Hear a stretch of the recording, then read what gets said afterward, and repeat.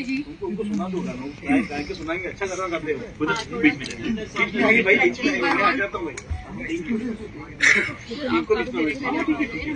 Actually इस गाने के बारे में अगर थोड़ा सा हमें बोलना है ना तो मुझे बोलना पड़ेगा जॉयदा की बात, राही दादा की बात।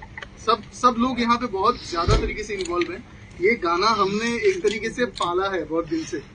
और हमारा मतलब बहुत मतलब एक होता है ना, कोई गाना आपके बहुत दिल के करीब होता है।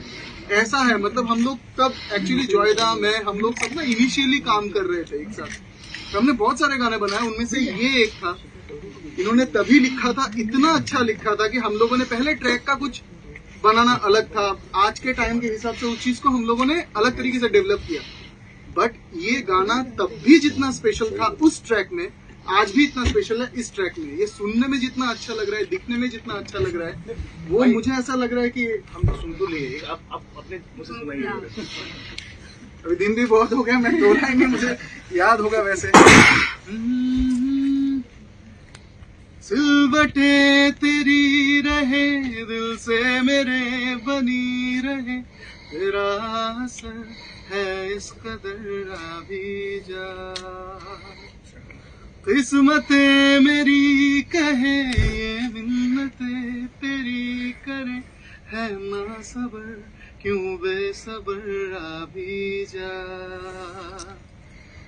मेरे इश्क की आदतें तुझ बिन जीने न दे। एक पल भी दूरियाँ, अब दिल ये ना सहे दरमिया तू यहाँ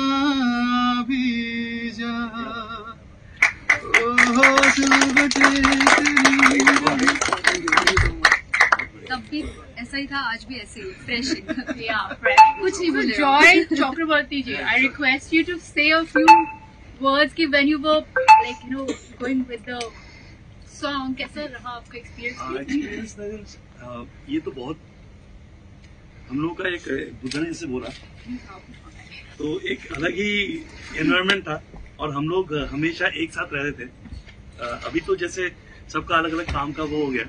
शायन राही भाई हम लोग ऑलमोस्ट हफ़्ते में दो दिन तो एक साथ रह, रहेंगे।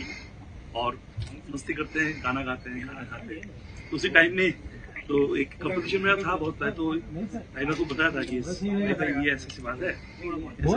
हाँ, तो कुछ तो एक वर्ड था चादरे। वो बहुत स्पेशल वर्ड था राही भाई के लिए।